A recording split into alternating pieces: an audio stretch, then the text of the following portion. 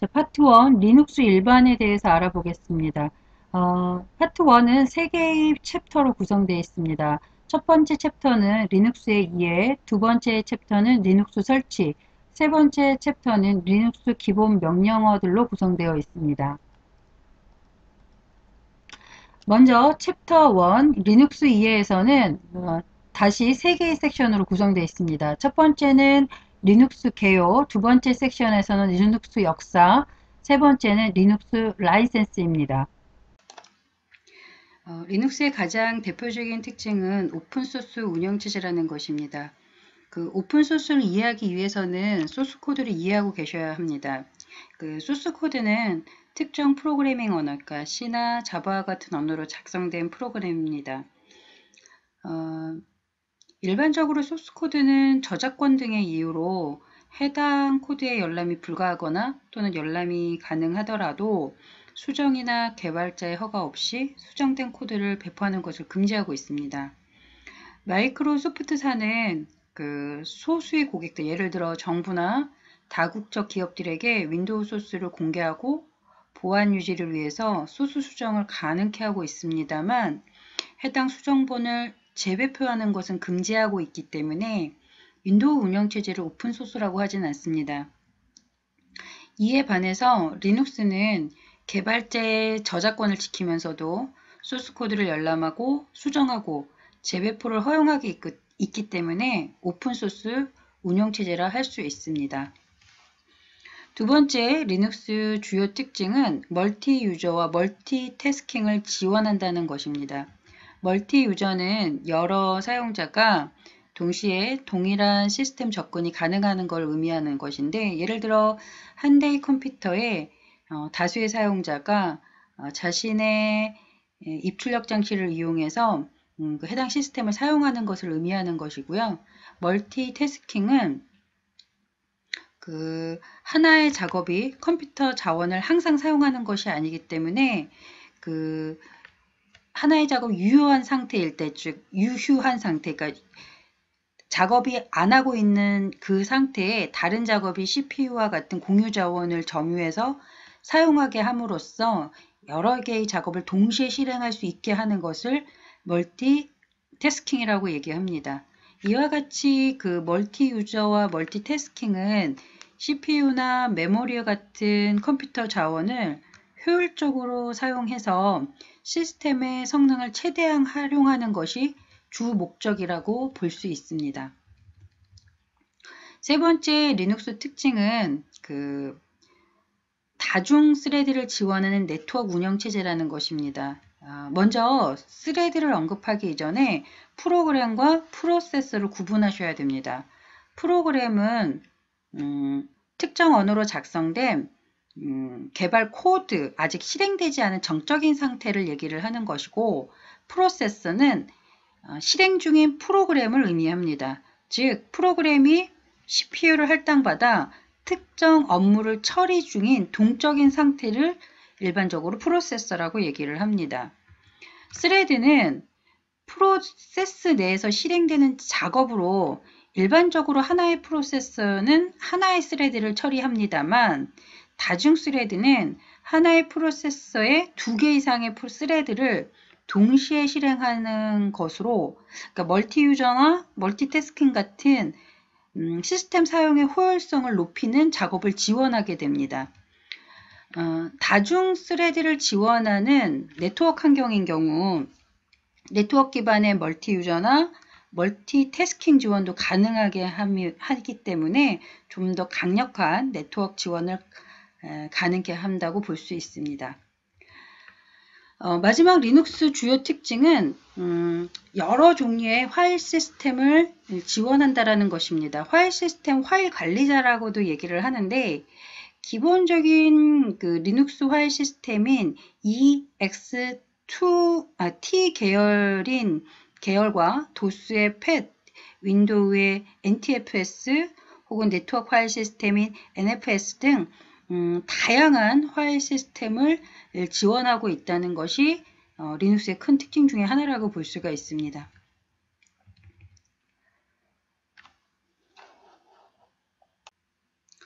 리눅스 장점은 리눅스는 유닉스와 완벽하게 호환 가능하다는 것입니다.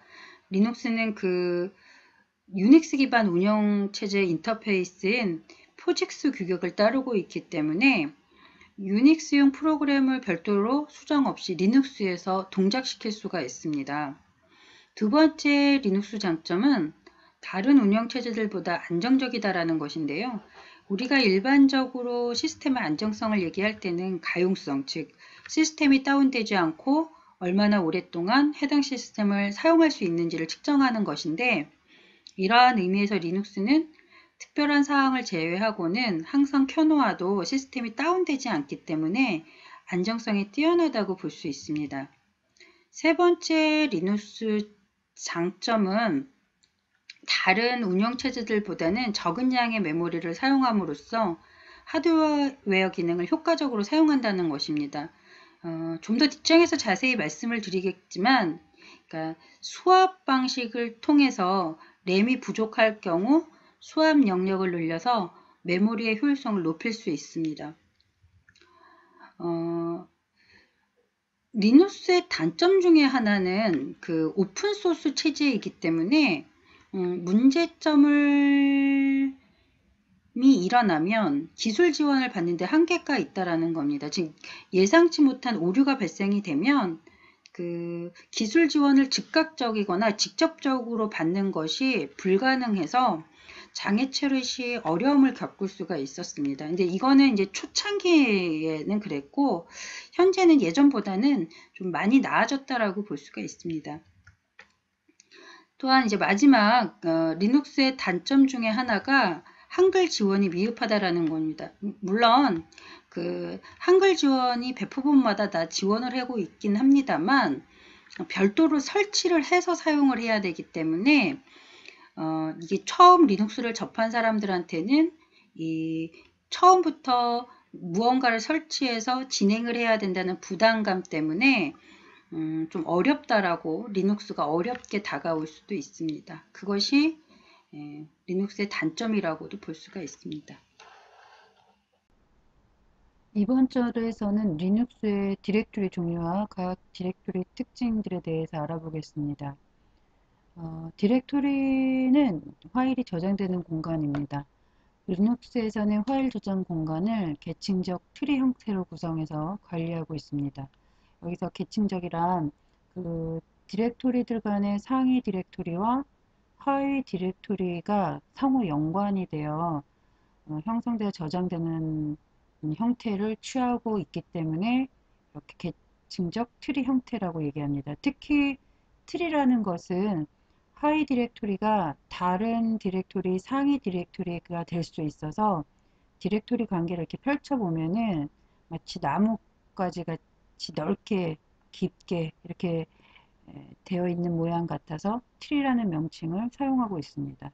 그래서 그 리눅스의 저장 공간 할 때 계층적 트리 형태다라고 하는 것은 매우 중요한 음, 특징 중의 하나라고 볼 수 있습니다. 그 교재의 그 표를 보시면 음, 이제 리눅 그 디렉토리에 대한 내용을 좀 더 자세히 살펴보실 수가 있습니다.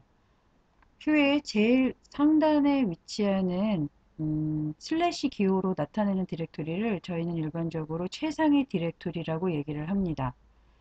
그 상위 디렉토리들 중에서도 가장 뿌리가 되는 디렉토리라고 얘기를 해서 루트 디렉토리라고도 하고 그 모든 디렉토리의 출발점인 동시에 또 다른 시스템과의 연결되는 지점이 되는 아주 중요한 디렉토리입니다.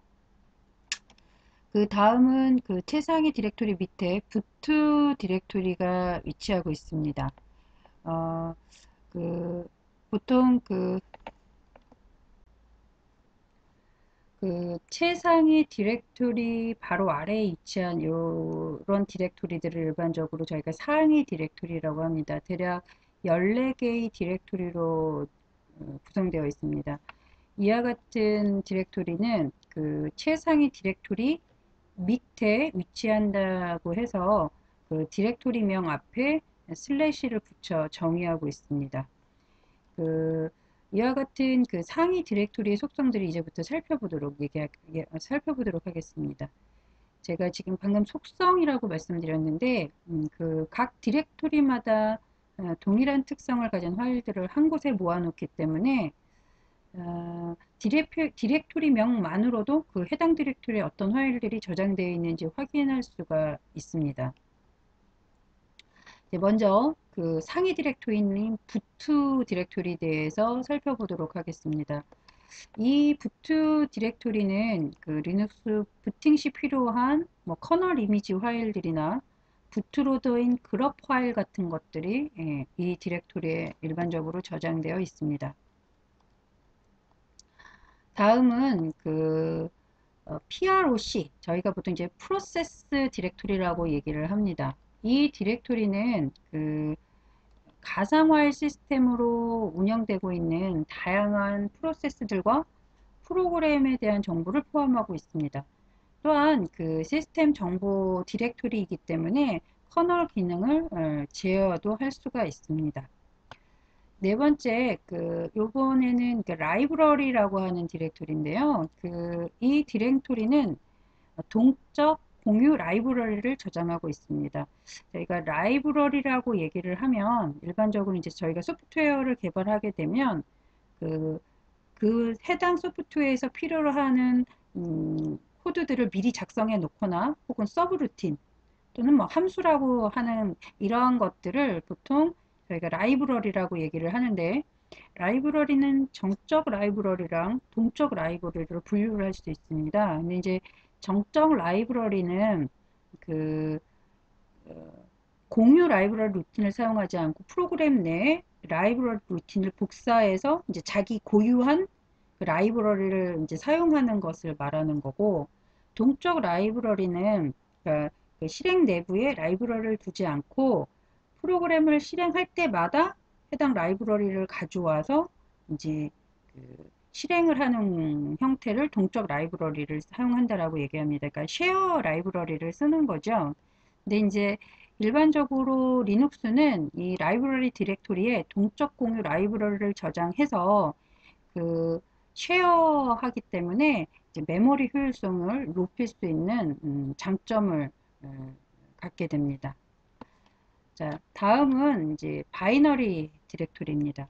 이 리눅스를 그 운영하기 위해서는 그러니까 그 기본적인 명령어들이 저장이 되어야 되는데 예를 들어서 뭐 clear나 뭐 cd나 뭐 ls나 이런 명령어들이 있는데 예, 이거는 뭐 루트 사용자뿐만 아니라 일반 사용자도 사용 일반적으로 함께 사용할 수 있는 명령어입니다. 이런 명령어들을 저장하는 디렉토리를 보통 binary, 보통 이제 실행 파일이기 때문에 binary 디렉토리에 저장을 하게 됩니다. 다음은 device 디렉토리입니다. 어, 이것은 그 시스템 device 파일들을 저장하는 디렉토리입니다. 그러니까 어, 저희가 이제 일반적으로 장치 파일, 특수 파일을 음, 뭐 음, device drive 혹은 장치 드라이브라고 얘기를 하는데 어, 그 장치 파일에는 블록 장치하고 뭐 문자 장치 파일로 크게 구분을 하고 있습니다. 그 블록 장치 파일은 뭐 하드디스크나 CD, DVD나 플로피 디스크 같은 저장 장치를 말하는 것이고 그 다음에 그 문자 장치, character device는 키보드나 마우스 같은 입출력 장치들을 얘기하는데 저희가 작업을 하려다 보면 하드디스크나 키보드 같은 장치들이를 운영하는 파일 프로그램, 그러니까 device 파일들이 필요한데 이런 device 파일들을 저장하는 디렉토리를 보통 dev 디렉토리라고 얘기를 합니다. 자, 그 다음에는 그 etc 디렉토리입니다. 이 etc 디렉토리는 시스템 환경 설정 파일들이 저장되는 디렉토리입니다. 그 사용자 계정 정보뿐만 아니라 저희가 특정 애플리케이션 예를 들어 메일이나 SSH 같은 파일들을 설치한 후에 이에 관련된 환경 설정을 해야 되는데 그와 같은 특정 애플리케이션의 환경 설정들을 모아놓은 디렉토리를 보통 저희가 etc 디렉토리라고 얘기를 합니다. 근데 그 어, 여기에는 뭐 사용자 정보 및 암호 뭐 정보도 들어가게 되고 설정도 저장되기도 하고 혹은 뭐 특정 음, 음, 다양한 환경 설정들이 저장이 됩니다. 그래서 책에서 그 15페이지를 보시면 다양한 어, 환경 설정 확인들을 확인하실 수가 있으십니다. 자, 다음은 S빈 디렉토리입니다. 어, 어, Sbin 디렉토리는 그 저희가 아까 전에 binary 디렉토리라고 말씀을 드렸는데 음, binary 같은 경우는 그 그러니까 뭐 일반 사용자뿐만 아니라 root 그러니까 관리자 root뿐만 아니라 관리자뿐만 아니라 일반 사용자도 사용할 수 있는 명령어들이 저장된 디렉토리라고 한다면 Sbin이라고 하는 시스템 binary 디렉토리라고 하는 것은 예를 들어 뭐 시스템을 셧다운 시켜야 되거나 계정을 생성하거나 이런 시스템 관리나 운영에 대한 명령어들이 예, 저장되는 디렉토리로 이 디렉토리에 저, Sbin 디렉토리, 그러니까 시스템 binary 디렉토리에 저장되는 파일들은 관리자가 관리자만 해당 명령어들이나 파일들을 관리를 할 수가 있습니다. 제가 지금 방금 하나 빼먹은 게 있는데 root라는 디렉토리입니다. 그 root 디렉토리는 저희가 시스템 관리자들을 보통 root라고 얘기를 합니다. 근데 이제 그 root 관리자의 홈 디렉토리를 root 디렉토리라고 얘기를 하고 여기는 이제 관리자 운영을 하기 위해 필요한 다양한 파일들이 어, 저장되는 공간이라고 생각하시면 될 것 같습니다. 자, 그 다음에 user 디렉토리입니다. 어, user 디렉토리는 음, 일반 주로 이제 시스템 관리자가 root 디렉토리를 이용한다면 그 일반 사용자들이 주로 사용하는 디렉토리를 user 디렉토리라고 얘기를 합니다. 그러니까 사용자 데이터나 애플리케이션이 설치되는 디렉토리로 이 디렉토리에는 그 공유 가능한 프로그램들이 설치될 수도 있고요. 네트워크를 이용해서 여러 개의 시스템을 연결할 경우에 또는 이 디렉토리를 이용해서 어, 이 디렉토리를 공유해서 설치된 프로그램을 활용할 수도 있습니다. 그래서 활용도가 어, 조금 높은 디렉토리 중에 하나가 user 디렉토리라고 볼 수가 있습니다. 자, 그 다음은 홈 디렉토리입니다. 홈 디렉토리는 그러니까 사용자 계정 디렉토리로 일반 사용자들이 보통 이제 처음 뭐 Telnet이나 FTP 접속했을 때 예, 처음 위치하게 하는 디렉토리고 그 사용자들이 환경 설정 정보들이나 그, 그런 그 내용들이 예, 저장이 되는 디렉토리라고 보시면 될 것 같습니다. 자, 그 다음에 variable, var, variable 디렉토리입니다. 이건 가변 저장 디렉토리인데요. 그 파일 크기가 고정되지 않고 가변적인 파일들, 예를 들어서 이제 로그 파일이나 메일을 통해서 송수신, 송수신되는 데이터들을 저장할 때 사용하는 디렉터리라고 보시면 될 것 같습니다. 자, temp, temporary라고 보통 얘기를 하는데, 이제 그 프로그램이나 프로세스 작업을 할 때 임시로 생성되었다가 삭제되는 파일들이 저장되는 디렉토리입니다. 그 모든 사용자에 대해서 읽기 하고 쓰기가 허용되고 있습니다. 자, 다음은 mount 디렉토리입니다. 그 moun MNT mount 디렉토리는 그 어, 시스, 파일 시스템을 일시적으로 mount할 때 사용하는 디렉토리인데 그 mount라는 용어는 시스템마다 조금씩 다르게 정의되고 있습니다만 리눅스 환경에서는 그 mount란 논리적인 시스템과 디렉토리를 연결해서 해당 논리 시스템을 사용할 수 있게 조정하는 작업을 이제 일반적으로 이제 mount 한다라고 정의를 하고 있습니다.